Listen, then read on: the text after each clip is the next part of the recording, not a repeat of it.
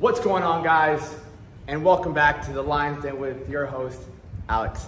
Um, first and foremost, I hope you guys had a great weekend. Hope you're doing good. And if you're not doing good, that's perfectly fine. There are many times in my life where I was at rock bottom, and I learned more in rock bottom than I learned when I was at the top of the mountain. Okay? So today, I want to just show you three of my favorite ab exercises. But before we go into them, I, I'm going to teach you something about abs that you can hold on for the rest of your life. Okay, number one, everybody has abs. Everybody has abs. Everybody has this. Okay, you have abs. Okay, the only problem is you have a lot of fat in front of it. That's it.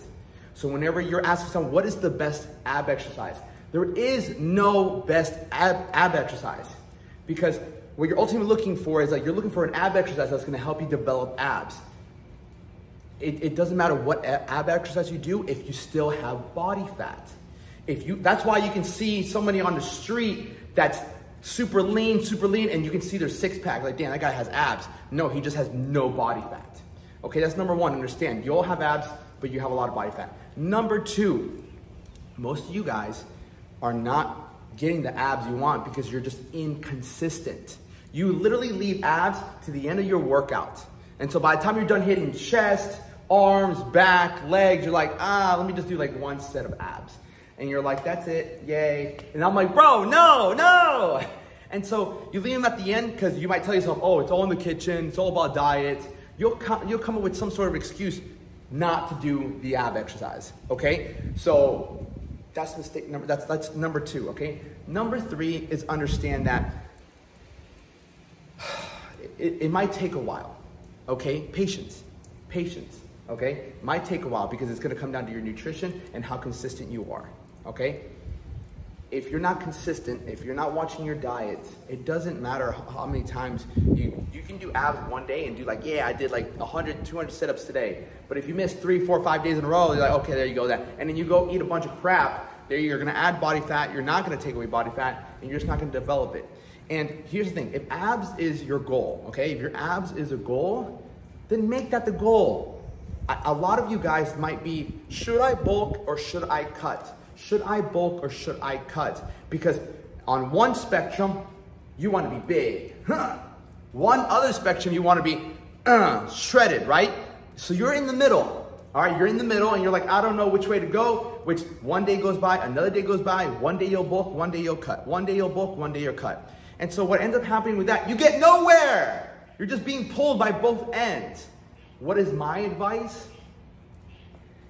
Coming from my perspective, okay? I was leaner. I, I, was like 120, 125. I've been working out since I was 15. So I was really skinny. So my goal was just to put on size. So in the range of 125, if you're below 150 pounds, I, I say just lean bulk. Like get up and weight. Like below 150, like get up and lean weight. Like 150 is not that heavy, okay? And so if you're above 150, cut down. It all depends on your height too.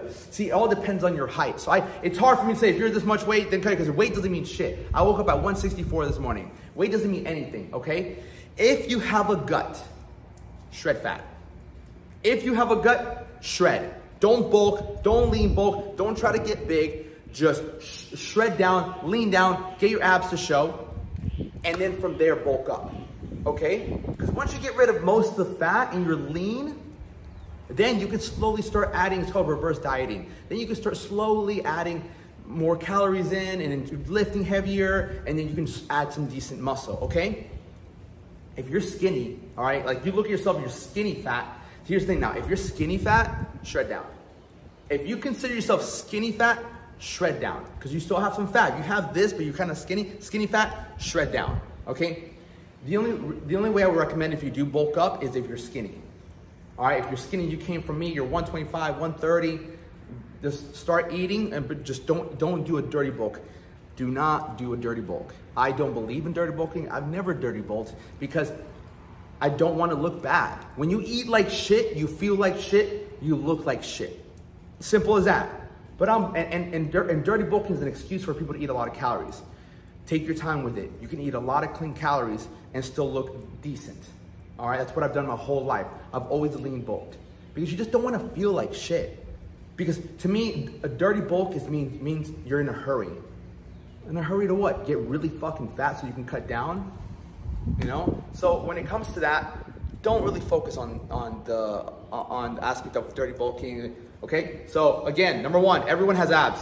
Get rid of the fat. Number two, consistency. Stop leaving it towards the end. If you really want core, dedicate dedicate every single, and I'll, show you guys, dedicate every single day to doing, six days a week, doing decline sit-ups, and I'll show you how to do them. Because if you do decline sit-up, this is my philosophy. If you do decline sit-ups, four sets of 25, that's 100. You do that six days a week, six days a week, that's 600 sit-ups a week. Uh, that's in two weeks, that's 1,200. In, in a month, that's what, 4,800? Don't quote me on my math.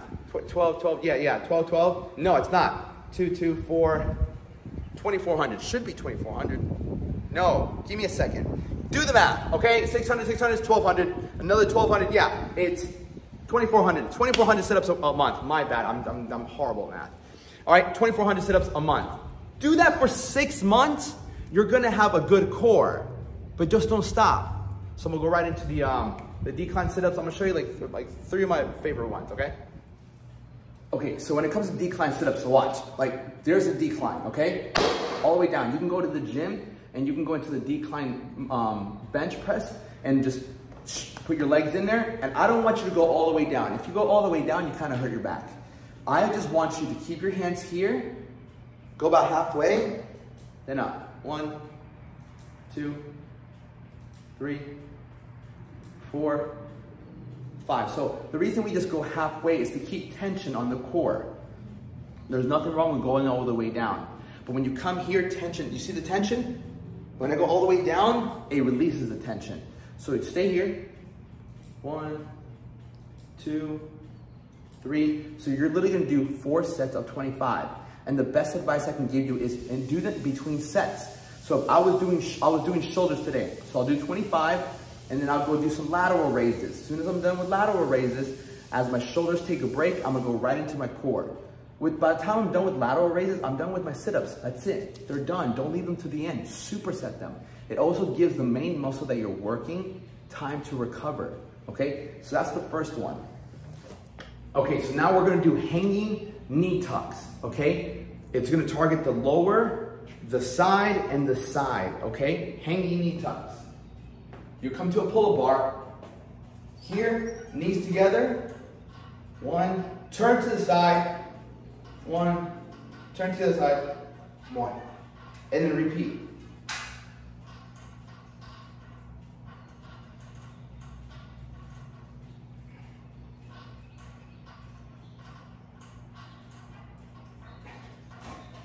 Now, these are these are really difficult. Super difficult, especially if your core is not strong. I don't care if you do one, two, three, four, five. I don't care if you just do five, rest. One, two, three, four, five. I don't care. One, two, three, four, five. Why is it five? Anyways, okay? So I don't care if you just do six at a time, five, it doesn't matter. Just do about 20. Four sets of 20. Done. So now we're back on the decline. I have a 10 pound dumbbell. We're gonna work on the obliques, okay? All I want you to do is take this 10 pound dumbbell like this, not like this, like this, lean back, twist. But when you twist, when I'm here, when I'm on my left side, squeeze your right side. When I'm on my right side, squeeze with your left side. You're, you're not just moving the dumbbell. What's pulling you is your obliques. Pull with my left side. See this? Pull. Too many people just do this and they don't use their core. Take your time. Boom. Boom. Take your time. Do again on the decline sit up. How many? About 25. One, two, three, 25, four sets.